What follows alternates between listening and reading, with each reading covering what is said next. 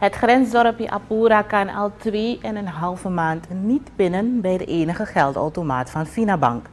Dit zorgt voor enorme frustraties bij de dorpsbewoners. Vooral de seniorenburgers willen hun AOV opnemen.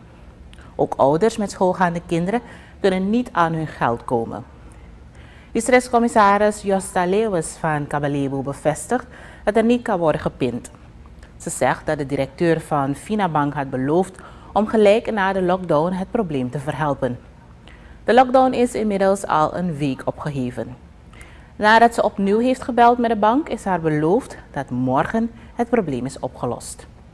In reactie zegt de marketingafdeling van de Finabank dat de automaat een technische storing heeft en dat deze inderdaad morgen wordt verholpen. Het dorpje telt ruim 300 bewoners.